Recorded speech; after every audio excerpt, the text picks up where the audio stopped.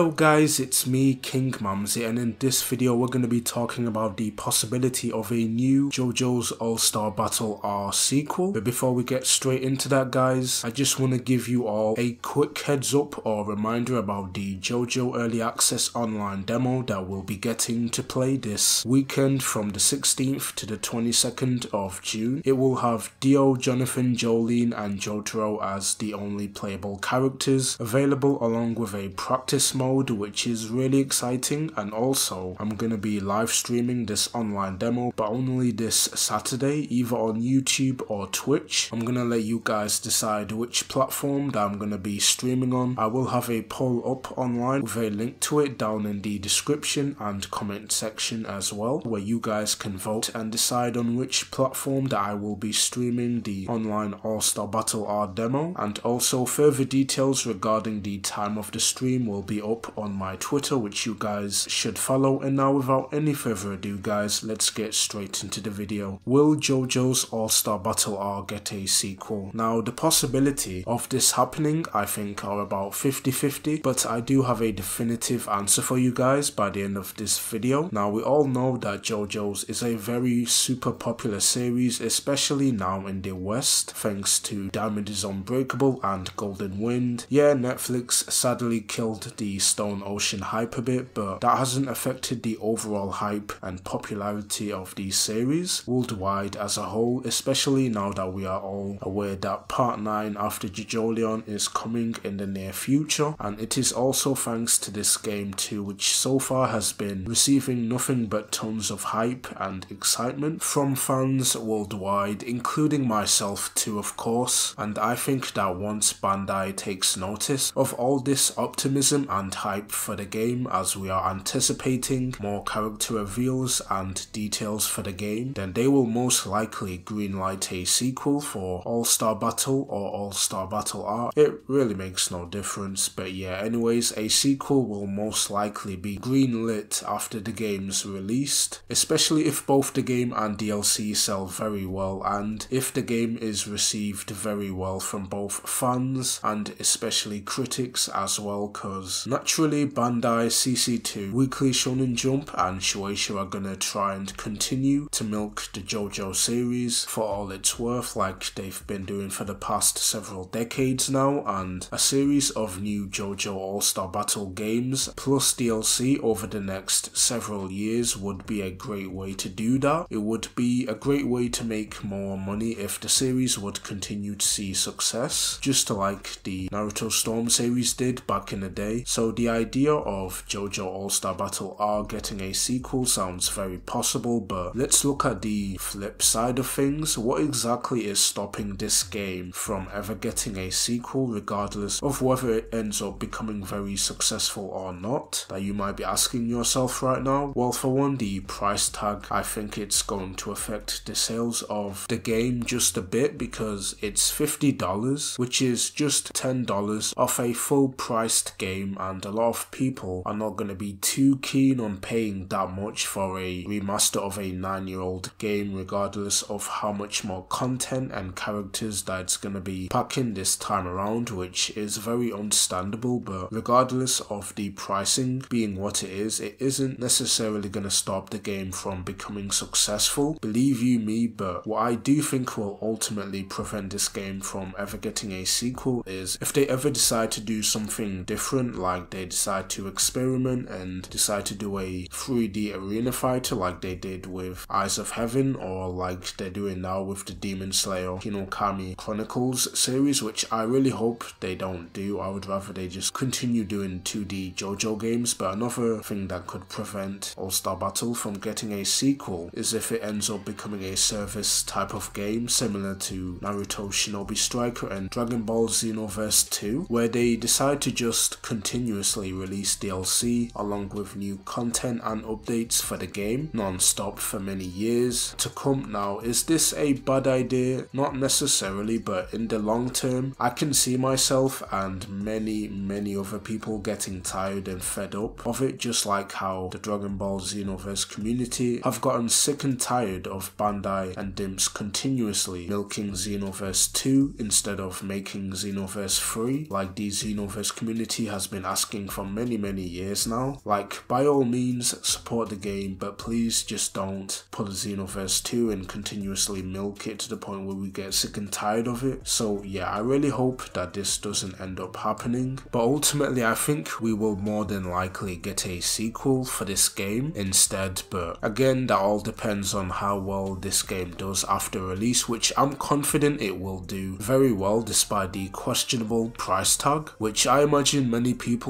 especially hardcore JoJo fans like myself will overlook. And if that online demo I mentioned earlier in the video ends up being a success due to everyone including myself having a great time with it due to the combat and netcode being phenomenal then the chances of this game doing well enough to get a sequel are almost 100% guaranteed. But yeah ultimately I do think that this game will get a sequel but I am curious to see what you guys think about this topic do you think this game will get a sequel or not please be sure to leave down your thoughts down in the comment section below by the way guys if you enjoyed the video then be sure to leave a like on it also subscribe and hit that notification bell for more future JoJo All-Star Battle R videos. Thank you guys so much for watching. This is your boy King Mamzy signing out. Take care and peace.